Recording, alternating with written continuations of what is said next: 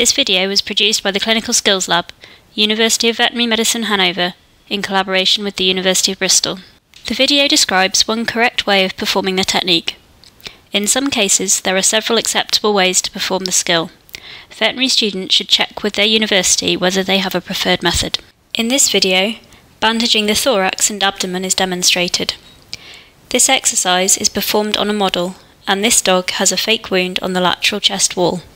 The equipment needed includes bandage scissors, wound dressings, bandages, gauze, and two plaster tapes. Have all the materials ready in advance and open the packaging.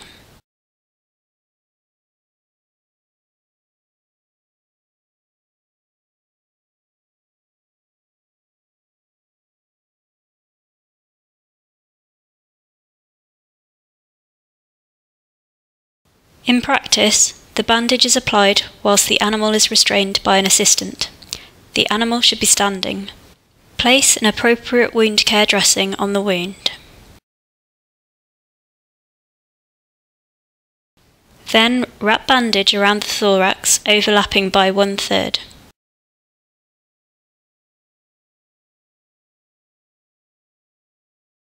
Some of the following video clips are fast forwarded.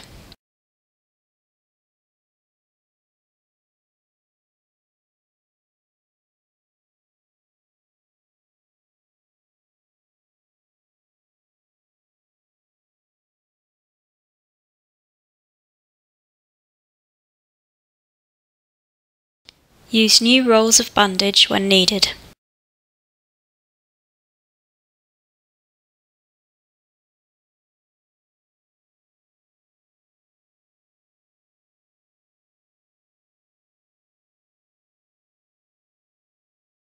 Now pass the bandage between the front legs and over the pectoralis along the shoulder. Repeat this pattern at least twice on either side.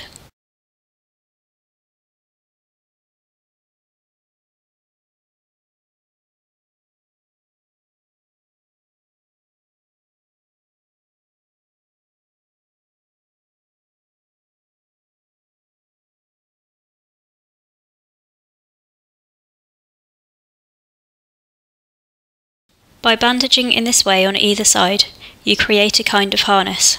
If necessary, the harness can be padded with cotton wool.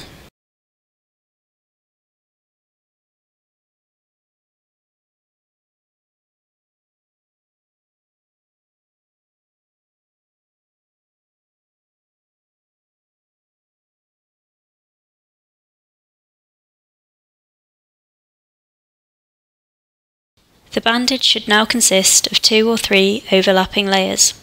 Fix the end of the bandage with plaster tape.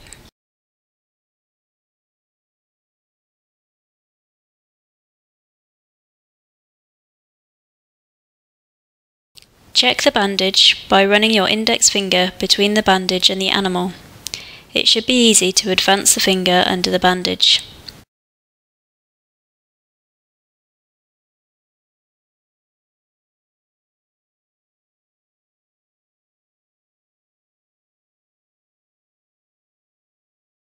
Now apply the outer layer of the bandage.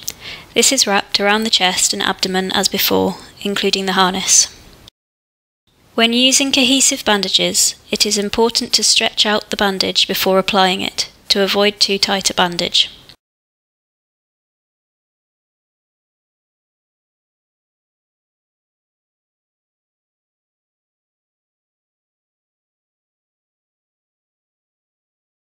Fix the end of the elastic bandage with adhesive tape. The bandage must now be checked to ensure it is not too tight.